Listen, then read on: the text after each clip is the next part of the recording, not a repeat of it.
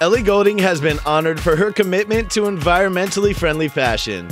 The 32 year old British pop star lives as a vegan and has been a longtime advocate for wearing clothing and accessories which promote sustainability.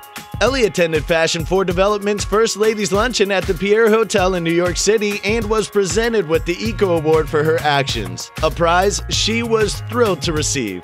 Ellie stepped out on the special green carpet at the event in a black dress designed by Edeline Lee, matched with a chunky belt and black pumps from Stella McCartney, who is also committed to sustainable fashion.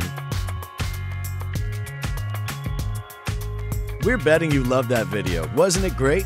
Well, like and subscribe to get even more.